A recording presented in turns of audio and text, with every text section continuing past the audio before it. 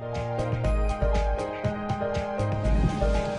National Marine Fisheries Service reminds you that effective $2,400 local time, November 30th.